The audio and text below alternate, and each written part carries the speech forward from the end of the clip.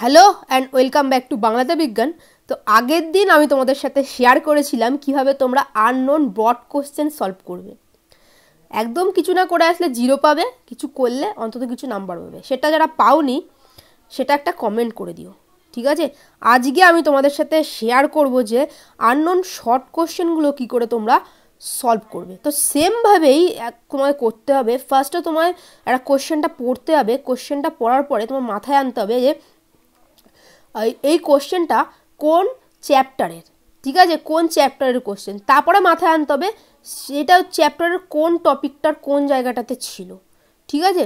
তাহলে কিন্তু তুমি উত্তরটা ইজিলি পেয়ে যাবে। আমি উদাহরণটা দিয়ে বোঝা, বোঝাবো এই কোশ্চেনটা তার আগে আমি বলে দিই, দেখো কিছু কিছু পড়া থাকে আমাদের মাথায় পুরো ভালোভাবে বসে যায়। কিছু কিছু পড়া থাকে যেগুলো আমাদের মাথায় ওরকম ভালোভাবে আমাদের মাথার মেমোরি আমাদের যে লঘু মস্তিষ্কের ভিতর সরি আমাদের যে গুড়ি মস্তিষ্কের ভিতর ওইভাবে ক্যাচ করতে পারে না। নিউরনগুলো কানেক্ট হলে তখনই কিন্তু আমাদের মনে পড়ে। তো যখনই আমরা মনে করব যে এটা কোন চ্যাপ্টারে ধরো এই কোশ্চেনটা এই কোশ্চেনটা কোন অঙ্গাণুটি জেনেটিক ইঞ্জিনিয়ারিংয়ের সঙ্গে সম্পর্কযুক্ত? ঠিক আছে? তো এটা কোন চ্যাপ্টারের ক্লাস টুয়েলভ বায়োলজির এটা হচ্ছে তোমাদের জেনেটিক ইঞ্জিনিয়ারিং বা বায়োটেকনোলজি চ্যাপ্টারের বায়োটেকনোলজি জেনেটিক ইঞ্জিনিয়ারিং বুঝে যাচ্ছে এটা বায়োটেকনোলজি চ্যাপ্টারের আচ্ছা কোন কোষ অঙ্গাণু? এই যে জেনেটিক ইঞ্জিনিয়ারিংয়ের ব্যাপারগুলো কোথায় ছিল? প্লাজমিড ভেক্টর কীভাবে প্রবেশ করানো হচ্ছে? ওই টপিকে ছিল। টপিকটা মনে করলে ঠিক আছে? তো উত্তর ইজিলি পেয়ে যাবে। কোন কোষ অঙ্গাণু জেনেটিক ইঞ্জিনিয়ারিংয়ের সঙ্গে সম্পর্কযুক্ত? প্লাজমিড ছিল। এই যে প্লাজমিড হবে তাহলে? প্লাজমিড হবে, এটা হবে বি হবে। রাইবোসোম তো কোথাও ছিল না ওখানে মাইট্রোকন্ডিয়া ছিল না গলগি বস্তু। ওগুলো আমরা ভাববোই না। প্লাজমিড ছিল প্লাজমিড আমরা সরাসরি আমরা অ্যান্সারটা করে দেবো। এই যে শর্ট কোশ্চেন সলভ করার মেথডটা এটা তোমরা হচ্ছে ক্লাস টেন, ইলেভেন, টুয়েলভ, তোমরা যে কোনো কম্পিটিটিভ এক্সাম নিট হোক, যে কোনো কিছুতে কিন্তু তোমরা এটা পদ্ধতিটা অ্যাপ্লাই করতে পারবে। যখনই তুমি মনে করবে কোন চ্যাপ্টার তারপর কোন টপিক ওর মধ্যেকার, তুমি ইজিলি এর মধ্যেকার অ্যান্সার তুমি পেয়ে যাবে। কারণ যেই মনে করছ, আমাদের ব্রেনের নিউরনগুলো কিন্তু ইন্টারকানেক্ট পরপর হচ্ছে, তখনই কিন্তু তোমার উত্তর তোমার সামনে চলে আসে। লোকের থেকে জিজ্ঞাসা করে ভুলভাল উত্তর লিখবে না। এ পরীক্ষা, যুদ্ধ, এসব জায়গায় কাউকে বিশ্বাস করতে নেই। ওকে?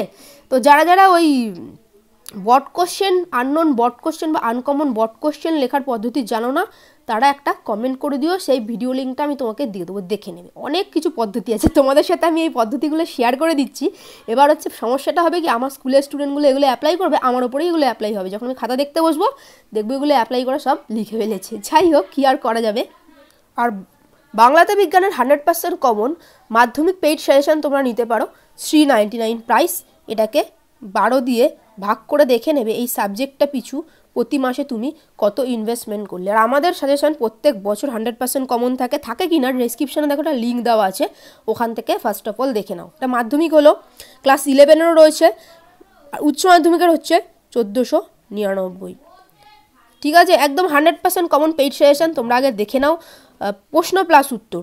প্রশ্ন প্লাস উত্তর প্লাস ডাউট ক্লাস রয়েছে। যদি তোমাদের সমস্যায় ডাউট তোমরা সলভ করে নিতে পারো।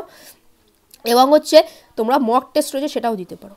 ঠিক আছে? এটাকেও বারো দিয়ে ভাগ করে দেখে নেবে যে মাস প্রতি এই একটা সায়েন্সের সাবজেক্টের পিছু, তোমার রেজাল্টের পিছু তুমি কত ইনভেস্টমেন্ট করলে।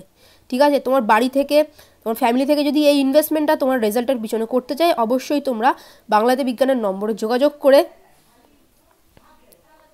তোমরা কিন্তু এই বাংলাতে বিজ্ঞানের নাম্বারটা eight four two zero six five nine triple four ডেসক্রিপশানে দেওয়া আছে। সেই নাম্বারটায় যোগাযোগ করে সরাসরি তোমরা সাজেশন পারচেস করে নিয়ে প্রশ্ন প্লাস উত্তর লিমিটেড অল্প কিছু পড়েও এখন একটা দুর্দান্ত রেজাল্ট করতে পারো। এগুলো যোগাযোগ করার আগে আগে ডেসক্রিপশনে দেখো একটা স্টুডেন্টদের রেজাল্টের লিঙ্ক দেওয়া আছে। ওখানে যাবে, দেখবে পরপর মাধ্যমিক, উচ্চ মাধ্যমিক, তারা পরীক্ষা দিয়েছে, কী বলছে সাজেশন প্রত্যেক বছর হান্ড্রেড পার্সেন্ট কমনের কিন্তু রেকর্ড রয়েছে। এবং তোমাদের হচ্ছে তাদের রেজাল্ট কী রয়েছে? সব দেখে শুনে এসে যদি তোমাদের মনে হয় বায়োলজি বা লাইফ সায়েন্স ভালো করে পড়া হয়নি, তোমরা কিন্তু এই হান্ড্রেড পার্সেন্ট কমন পেইড সাজেশানটা পারচেস করে নিয়ে একটা দুর্দান্ত ভালো রেজাল্ট এখনও করতে পারো। ঠিক আছে? ওদের রিপ্লাই রেজাল্ট রয়েছে, তোমাদের রিপ্লাইও সামনের বছর থাকবে। সাজেশান পুরো হান্ড্রেড পার্সেন্ট কমন ওকে ভালো থেকো প্রত্যেকে, ভালো করে পড়াশুনো করো, চেষ্টা চালিয়ে যাও এখন, প্রায় দশ থেকে চোদ্দ ঘণ্টা পড়াশুনো করো। কীভাবে করবে সেটাও দেওয়া রয়েছে, যদি কেউ না পেয়ে থাকো, সেটা আমাকে জানাবে।